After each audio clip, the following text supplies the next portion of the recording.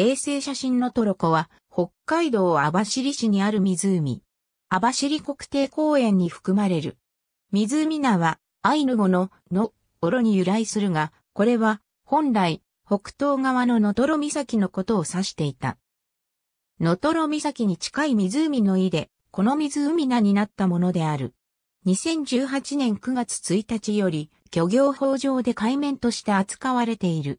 北海道の東北部に位置し、オホーツク海に通じる海跡湖である。面積59平方キロメートル、湾内最大水深21メートル、湾口最大水深10メートル。日本の故障では14番目の面積規模を有する。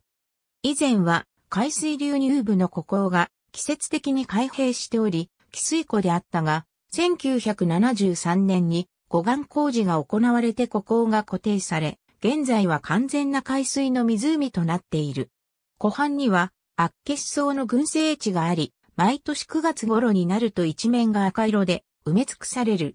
うばらない地区には、日本最大とされる悪血草の群落があり、毎年9月には、サンゴ草祭りが行われる。湖岸をなぞるようにアマモが繁茂しており、日本有数のアマモ場が形成されている。オホーツク海に面していることから、過去に白イルカの漂着個体が生息していたことがあった。湖では主にホタテ、鮭、北海島エビやカレイ等が漁獲される。